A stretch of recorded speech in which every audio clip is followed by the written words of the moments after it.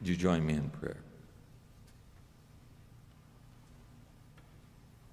May the words of my mouth and the meditations of each one of our hearts be acceptable in your sight, O Lord, our rock and our salvation. Amen. In Barking to the Choir, The Power of Radical Kinship, Jesuit priest Father Greg Boyle tells the story of Jose, one of the street gang members who came to Homeboy Industries in Los Angeles. Jose was a trainee and had been with Homeboy Industries for just a short time when Father Boyle, affectionately known to everybody there as G, as G went to him and asked him to join him on a speaking engagement. And so he said yes and went along. And G went to this place with 600 social workers and Jose. And Jose shared his story, a story that G had truthfully never heard before. Jose began My mom and me didn't get along so good. When I was six years old, she said to me, Why don't you just kill yourself? You're such a burden to me. As Jose stopped and the room was just filled with a compassionate gasp, Jose looked at them and said, Don't worry, it sounds much worse in Spanish. the same happened, and he had them as he went on. He told how his mother would beat him constantly, and when he was nine, she drove him into the Baja Desert and dropped him off at an orphanage, saying that she had found this boy along the road. He was there for six months until his grandmother was finally able to find out where he was from asking her daughter day in and day out. And grandma came and brought him home. When he returned, the beatings began again. He continued, My mother beat me every day, every single day. It was so bad that I wore three t shirts to school each day the first one to seep up the blood, the second one to catch any blood that might seep through, and the third one, well, just so I'd have a t shirt on. And you couldn't see the blood on that one. The kids made fun of me because I was wearing three t shirts, sometimes in 100 degree heat. But I didn't care. I had to. Then he paused to catch his breath through his tears. And he continued, I wore three t shirts well into my adult years because I was ashamed of my wounds. All my scars, I didn't want anyone to see them. And then one day, I came to realize that my wounds were my friends. After all, how can I help the wounded if I can't heal my own wounds? I learned that my own compassion for others lies in this that if you don't welcome your own wounds, you may be tempted to despise and hate others who are wounded. In his 2021 book, The Whole Language, The Power of Extravagant Tenderness, Father Boyle continues to tell the story of his lifetime work at Homeboy Industries. He calls all of us to speak and live the whole language of God, which means we need to embrace the power of extravagant tenderness. Tenderness, he says, is the highest form of spiritual fluency. In our tenderness, we go to the margins and meet people in their woundedness. In our tenderness, we get to stand with the demonized so the demonizing will stop because you can't demonize people you know. In our tenderness, we present with, we, we, we are present with the disposable so that they will no longer be thrown away because you can't throw away somebody you know. And when you go into the margins, you'll find other voices are getting up to be heard as well.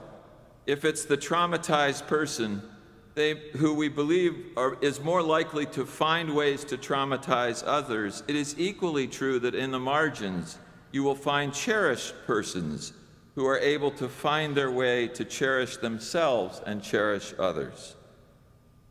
Father Boyle tells the story of an experience that he had with Father Henri Nouwen, which happened years ago when they were both at Harvard Divinity School. Father Nouwen was asked by somebody in the room, What is ministry? And Henri Nouwen paused for some time and then responded, Can you receive people? Can you receive people? You see, each of us is called to ministry wherever we are, whoever we are, however we are. Each of us gets to answer in our own ways and in our own places Can I receive people? And we will find in living fully into the tenderness of God that we will experience God's comfort. And as, as Father Boyle points out, as God comforts us, there's no time or place left for judgment. It reminds me very much of something Mother Teresa said when we empty ourselves of everything we carry, it allows for God's love to fill those places that are now empty. It's in that place that we can receive people. Years ago, one of my favorite comments, although he's said so many things through the years, by Congressman John Lewis was, You know, we all live in the same house. I always love that because in that house, Congressman Lewis would go on to explain that none of us are assigned to certain rooms in the house. We don't have to stay in the basement or in the attic. We don't have to, you know, spend all our time in the kitchen. It's our house, right? We all live where we want to be in that house. He said, no one assigns us anything, so we're in the house together, right? If we think of it this way, that means we all come to the table together. We sit at the table together. We receive God's blessings in the house together. We are all meeting Jesus there together. And we find that when we do that, Jesus shows up again and again, and he shows us what really matters. He shows us that inclusion really matters that nonviolence really makes a difference and matters, that unconditional love really matters, and that compassionate acceptance of one another really matters.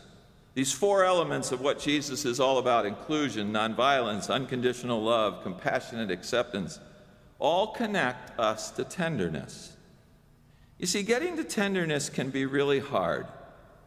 It can be especially hard when we're stressed out, when we're closed off, when we're fearful. Think about this.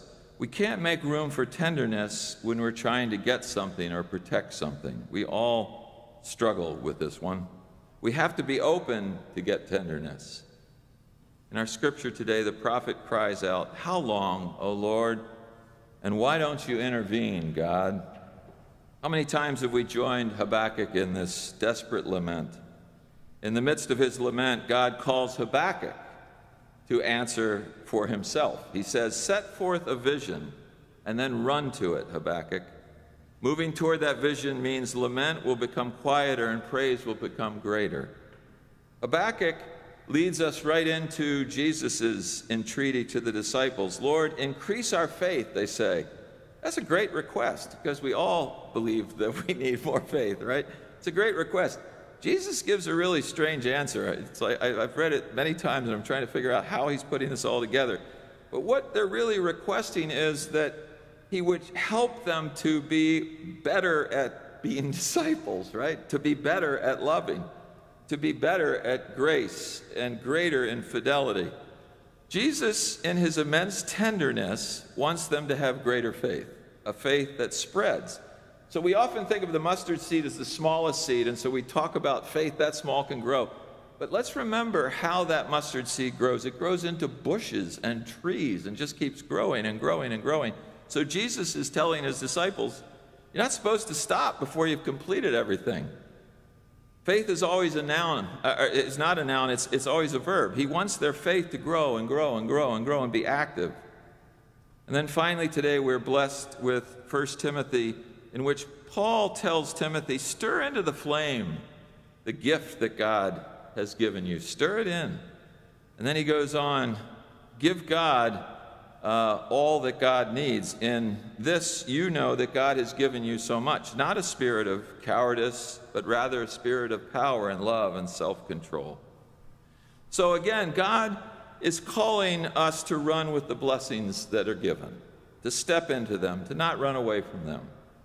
Today's readings are telling us that this act of being very impatient and passionate at times is our own way of trying to get God's attention.